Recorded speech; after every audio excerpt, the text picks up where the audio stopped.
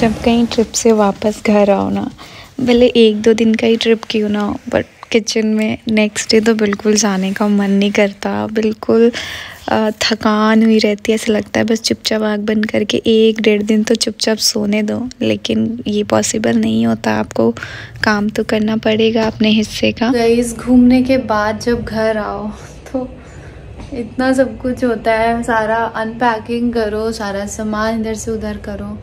सुबह मुझे बिल्कुल उठने की हिम्मत नहीं हो रही थी। ऐसा लग रहा था ना, चुपचाप आँख बंद करके और सो जाओ। बट उठना तो है, करना तो है सारी चीज़ें, चाहे कुछ भी हो। तो मैं उठी, हलवा बनाई और सब्ज़ी बनाई, चावल बनाई, क्योंकि रोटी खाने का इनका मन नहीं कर रहा था। और फिर उसके बाद से मैंने सोचा कि सो जाऊँ थोड़ी देर, लेकिन धनवी भी उठ गई थी। तो नहीं सो पाए। फिर मैंने सोचा कि चलो सब जो धोना वोना है, जो साफ़ सुथरा करना है वो कर लेती हूँ। क्योंकि अब कल से हमारे यहाँ शादी का शुरू हो जाएगा रोज़ रोज़ रोज़ रोज़ रोज़। भैया की शादी है। बुआ के बेटे की शादी है। तो उसमें सब बिज़ी हो जाएँगे। कल हल्दी वल्दी कुछ आ गया था। और बहुत अच्छी स्टोरी है, बताऊँगी आपको। बाकी चलिए। कर लेते हैं अपना सब कुछ अरेंज क्या कर रहे हो धनवी? क्या लगा दो? नेल पेंट आपको नेल पेंट जब कहीं जाते हैं ना, तब लगाते हैं। ठीक है है? अभी लगा दूँगी। आइए, किसने किया धनवी ये? जब घूमने जाना होता है तो पैकिंग करने में कितना मज़ा आता है ना। वही जब वापस आओ तो पैकिंग करने में कितना गुस्सा आता है ना। बहुत गुस्सा आता है, सारी चीज़ें अरेंज करो, सब कुछ इधर से उधर क्लीन करो, इधर उधर रखो। सच में घर आने के बाद ना यही सब वो करना पड़ता है। हो मिलत खीरे बाहो। सो so गए सुबह उसके बाद मैं अपना खाना वाना बना के रूम वूम साफ़ करते करते करते इतना टाइम हो गया। सारे पार्सल्स आए थे, उसको अनबॉक्स किया, देखा, फिर सबको अपडेट दिया। फिर रात हो गई, फिर मैं रात का खाना बनाने लग गई। तो गई बाहर कहीं घूमने जाओ और वापस जब घर लौट के आओ, इतना सारा, ऐसा लगता है ना, एकदम सर फट गया। इतना सारा काम पेंडिंग हो जाता है। ये करो, वो करो, ऐसे करो, वैसे करो। बहुत ज़्यादा चीज़ें फैली होती है, क्योंकि हम जाते वक्त ना सब कुछ जल्दी जल्दी जल्दी रखते हैं, इधर, उधर इधर, उधर। वैसे तो हमारा जो ट्रिप था वो बहुत छोटा था, दो दिन के लिए ट्रिप था। काफ़ी लोग कमेंट कर रहे थे चलिए इसके बारे में आगे बात करेंगे। उससे पहले हम जल्दी जल्दी से कर लेते हैं अपना मेकअप बिकॉज़ कहीं जाओ और आओ तो बहुत सारा जो काम है वो पेंडिंग हो जाता है। स्पेशली हम इंस्टा का बहुत सारा कोलैबोरेशन होते हैं इतने सारे पार्सल्स इकट्ठे हो जाते हैं। फिर एकदम ऐसा लगता है कि यार आ, मतलब कैसे होगा सारी चीज़ें? तो जल्दी जल्दी करके करना है। एंड भी मैं रेडी हो जाती हूँ और रेडी होने के बाद मिलती हूँ मैं आप लोगों से, क्योंकि मुझे आज बहुत सारी वीडियो शूट करना है। तो मैं नॉर्मल अपना मेकअप करूँगी। आपको पता है, इस मेकअप में एक बहुत एंड टोनर जब अच्छे से पूरे फेस में घुस जाएगा एब्जॉर्ब हो जाएगा तो देन मैं अपना स्ट्रोक क्रीम लगा लूँगी। मैं कोई भी फाउंडेशन यूज़ नहीं करती हूँ। जब मेरे को वैसा मेकअप करना होता है तो अपना नॉर्मल सा मेकअप यूज़ करती हूँ। अदरवाइज़ अगर कभी कभी ऐसा होता है ना कि थोड़ा सा हैवी लुक चाहिए होता है तो मैं एन वाई वे का फाउंडेशन है। और जो मेरा शेड मुझे बहुत अच्छा लगता है, मैं वो यूज़ कर लेती हूँ। बट आज मैं नहीं यूज़ करूँगी बिकॉज़ काफ़ी ना फेस थोड़ा सा वैसा हो रहा है। चलिए तो मैंने अपना स्ट्रोप क्रीम लगा लिया है।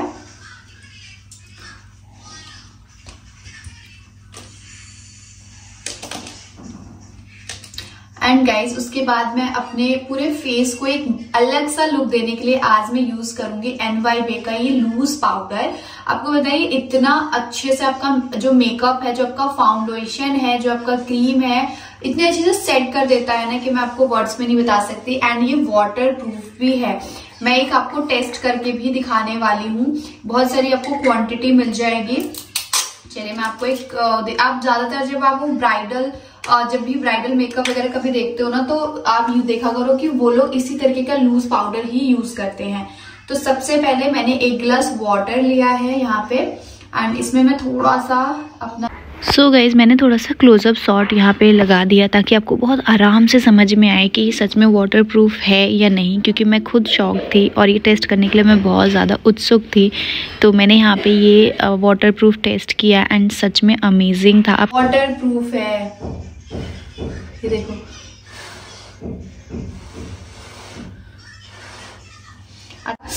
जो वो है वो वेस्ट हो गया। इसके लिए मुझे दुख हो रहा है। चलिए कोई नहीं। एंड आपको पता है आप सिर्फ़ कभी कभी ऐसा होता है ना कि आ, कुछ करने का मन नहीं करता है।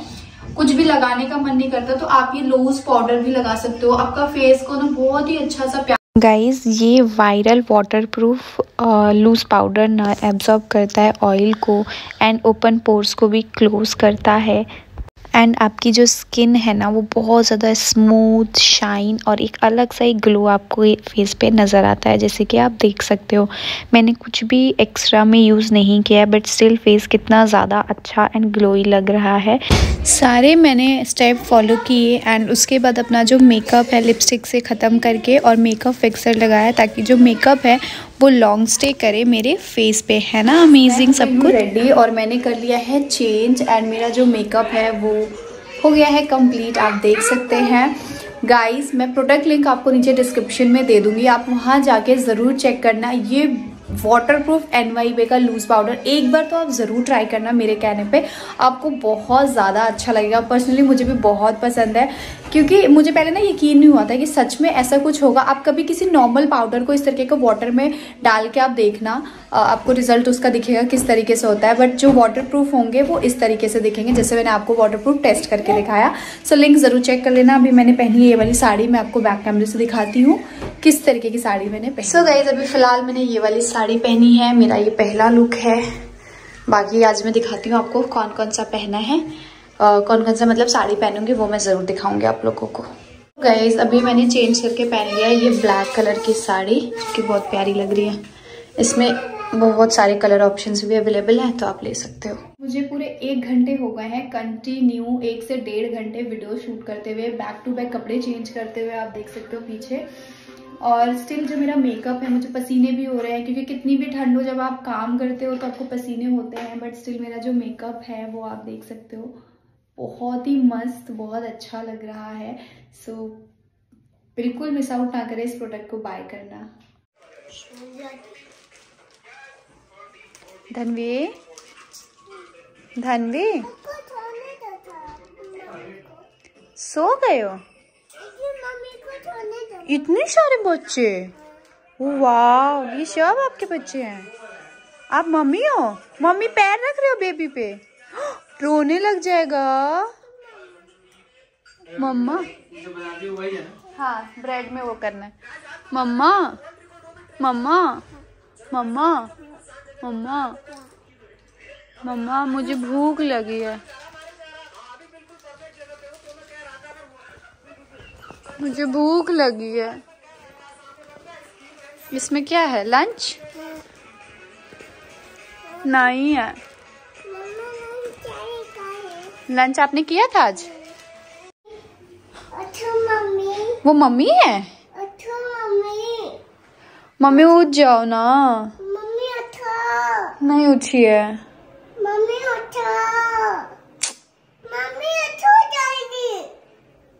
गुस्सा हो जाएगी वरना धनवी उठो जल्दी।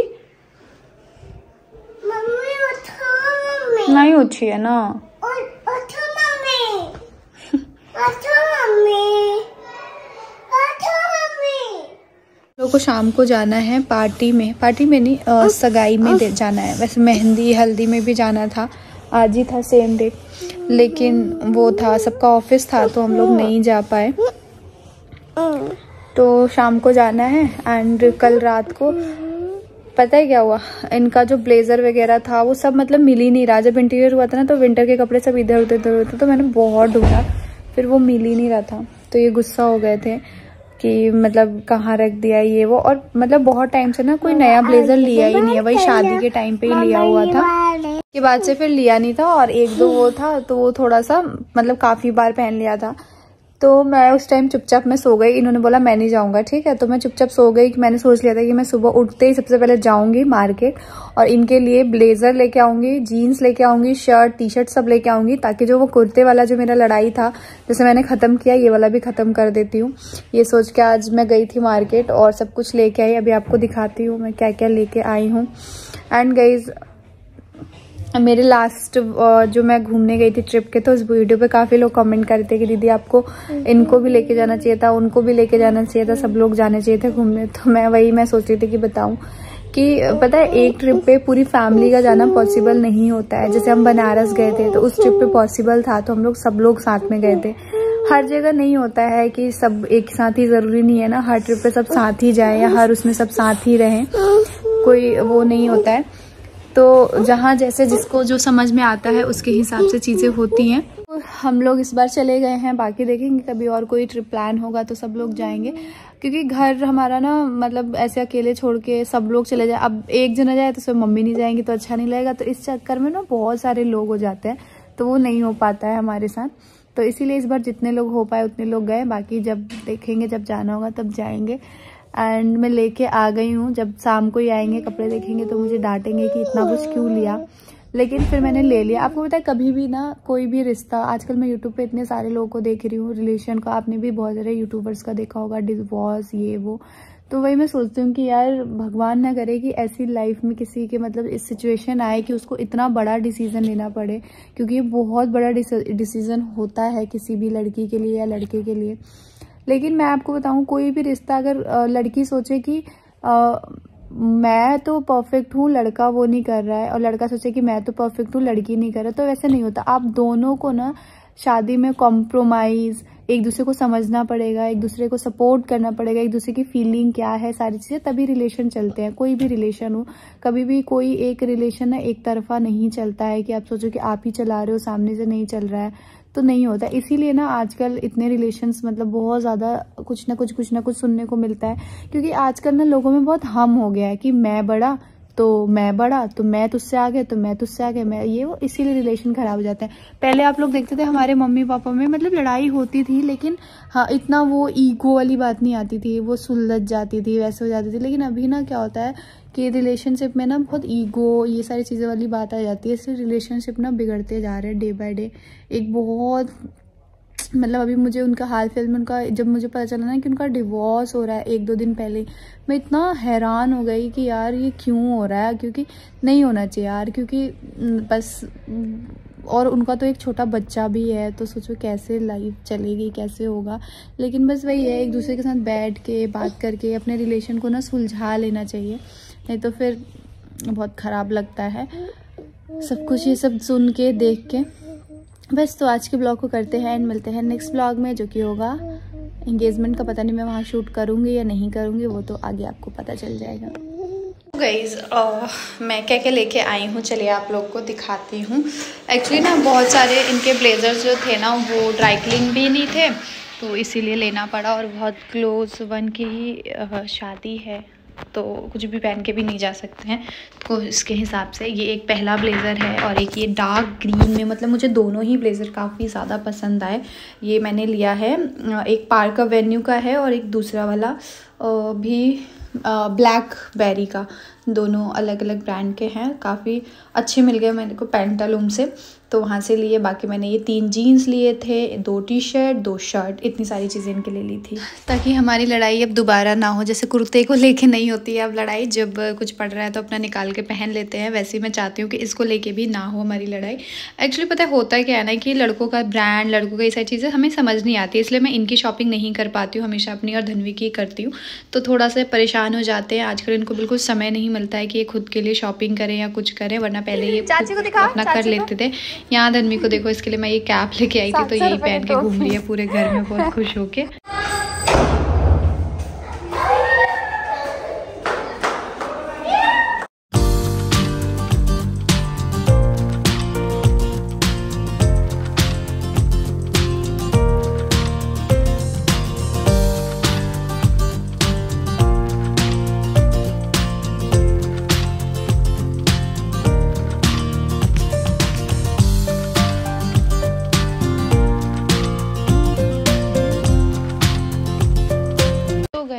अब हम मोटे हो जाएँ इसको खा के तो आज सुबह सुबह हम बना रहे हैं गोंद के लड्डू करेले की सब्ज़ी बन गई है।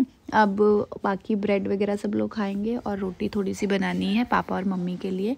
क्योंकि मम्मी पापा ना ब्रेड नहीं खाते हैं। और उसके बाद हम लग गए गोंद के लड्डू बनाने के लिए। थोड़ा सा लंबा प्रोसेस होता है, ऐसा मुझे पहले लगता था बट मुझे इतना वो लगा नहीं। बस सारे ड्राई फ्रूट्स आटा, सूजी, सबको बिल्कुल बारीक मतलब रेड एकदम भूनने के बाद बारीक पीस लेना है। तो यहाँ पर मैं और मम्मी वही कर रहे हैं। उसके बाद ना सारा जो भी था ड्राई फ्रूट जो बिल्कुल भूना था, उसको बारीक बारीक पीस के और एक साथ इस तरीके से मिक्स मिक्स कर लिया ताकि आ, मतलब इतना बारीक पीसना है कि वो मुँह में ना आए वरना मुँह में आता है तो फिर अच्छा नहीं लगता है। और अब शायद हमारा पूरा परिवार हम थोड़े से हेल्दी हो जाए सबको सुखंडी की बीमारी हो गई है हम सब सूखते जा रहे हैं पता नहीं क्यों। वैसे मम्मी हर साल बनाती हैं ठंड में बट इस साल थोड़ा सा लेट हो गया क्योंकि मम्मी की तबीयत ठीक नहीं थी। तो मम्मी के साथ लग के हमने हाथे पाते जल्दी जल्दी सारी चीज़ें कराई यहाँ पे और उसके बाद फिर हम यहाँ पे बैठ गए लड्डू बनाने के लिए।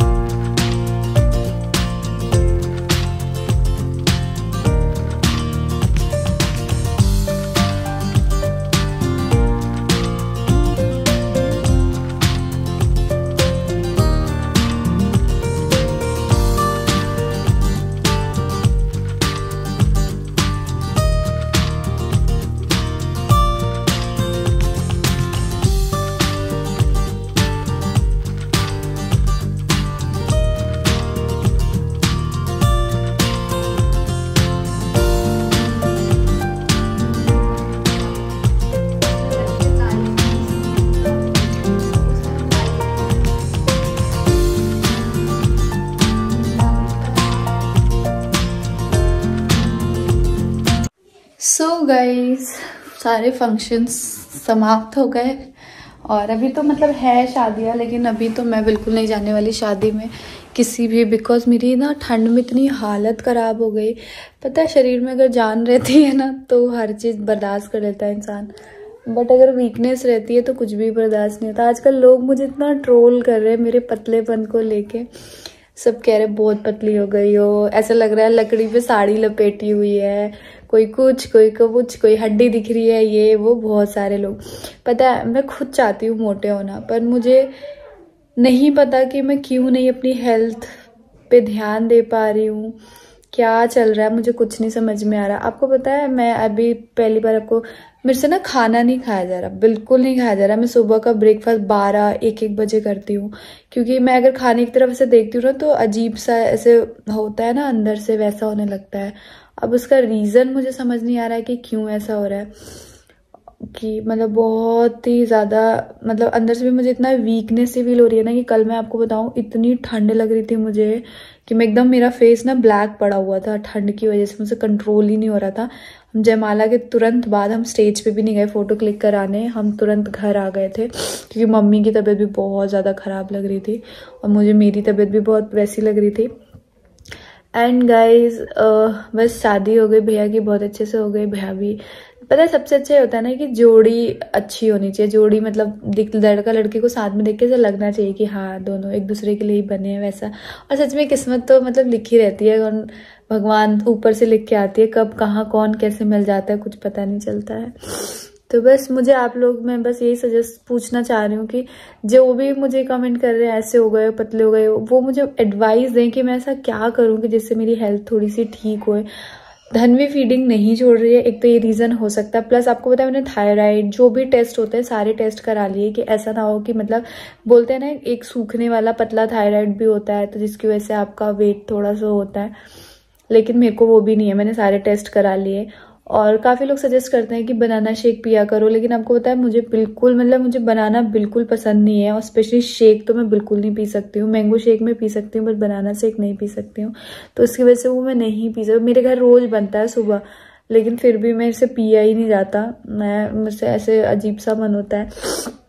रो, और सब्ज़ी तो मेरी सुबह की ब्रेकफास्ट की ना, जब धनवी पेट में थी, तब से छूट गई थी। मैं आम रोटी, दही रोटी, यही सब खाती थी। क्योंकि जब धर्मी पेट में थी ना तो मुझे स्मेल आती थी सब्ज़ी से तो मैं खा नहीं पाती थी। तो वो उसी टाइम से छूटा और आज तक मैं वो खा ही नहीं पाई सब्ज़ी। सुबह के ब्रेकफास्ट में तो मैं नहीं खा पाती हूँ, बाकी दिन में खा लूँगी बट सुबह के ब्रेकफास्ट में मैं सब्ज़ी बिल्कुल भी नहीं खा पाती हूँ। सो ये ब्लॉग ना मैंने शूट किया था जब हम ट्रिप से आए थे उस दिन, और मैं ये अपलोड करना ही भूल गई। मैं मतलब मैं शादी और इंगेजमेंट के ब्लॉग में बिज़ी हो गई। मुझे बिल्कुल ध्यान ही नहीं था कि मैंने ये वाला ब्लॉग लाइव नहीं किया है, और इसमें एक पेड भी कोलैबोरेशन था। फिर बाद में ध्यान आया कि अरे यार, ये ब्लॉग तो रह गया है। आज पतिदेव गए हैं ऑफ़िस के किसी फ्रेंड की शादी में। तो वो लेट आएँगे, मैं और धनवी, बाकी सब लोग हैं। और बस ऐसी चल रही है लाइफ आप लोग की लाइफ कैसे चल रही है, आप लोग बताइएगा। कल से अपने वापस काम पे आते हैं लौट के, क्योंकि आपको पता है कितना दिन हो गया। दिवाली, छठ, करवा चौथ के उधर से मैं अपना जो डेली वाला काम है वो टाइमली नहीं कर पा रही हूँ बट अभी मेरे को अपना डेली होना है क्योंकि काम तो करना ही है ना। जब आप ऐसे प्लेटफॉर्म पे हो तो आपको रोज़ कुछ ना कुछ कुछ ना कुछ कंटेंट सोचना पड़ता है कुछ रोज़ नया लेके आना पड़ता है। नहीं भी है तो अपनी डेली लाइफ की सारी चीज़ें शेयर करनी होती है। बाकी देखिए अब क्या चलता है क्या सारी चीज़ें होती है। सो so, चैनल पे नए हैं तो प्लीज़ चैनल को ज़रूर सब्सक्राइब करें ऐसे और वीडियोज़ के लिए। तब तक के लिए टाटा, बाय बाय। और हाँ अगर कुछ मेडिसिन है, कोई भी आपके पास उपाय है तो प्लीज़ मुझे बताइए, जिससे मैं खा के अपनी हेल्थ थोड़ी सी ठीक कर लूँ। क्योंकि मुझे भी फील हो रहा है कि अब मैं बहुत ज़्यादा पतली हो गई हूँ, और जिसकी वजह से कोई भी कपड़े ढंग के अच्छे ही नहीं लग रहे हैं, चाहे वो कैसे भी कपड़े मैं पहन लूँ, वो बॉडी पे अच्छे ही नहीं लग रहे, क्योंकि इंसान जब पतला होता है ना तो उस पर कोई भी कपड़े अच्छे नहीं लगते। प्लस मैं जल्दी चीज़ों में थक जा रही हूँ, मैं जैसे मेरा जो नेचर है ना, चहकते रहना, हंसना, खेलना, इधर, उधर इधर, उधर करते रहना तो उन सारी चीज़ों में मैं ज़्यादा थक जा रही हूँ। और मेरे अंदर वो जो एनर्जी होती है ना, वो सब चीज़ें नहीं हो पा रही है तो मैं खुद चाहती हूँ थोड़ा सा मेरा हेल्थ अच्छे से बन जाए। और बस वीडियो को करते हैं एंड और पतिदेव का जो मैं ये ड्रेस वगैरह लेके आई थी, वो उनको बहुत पसंद आया। तो बस मैं एंड में वीडियो में यही बोलना चाहूँगी कि आप अपनी तरफ़ से किसी भी रिश्ते में बेस्ट दीजिए। और उधर से भी आपको बेस्ट मिलेगा ही मिलेगा और बस ऐसी लाइफ चलती है। और पतिदेव को बहुत अच्छा लगा। सो मिलते हैं नेक्स्ट वीडियो के साथ। बाय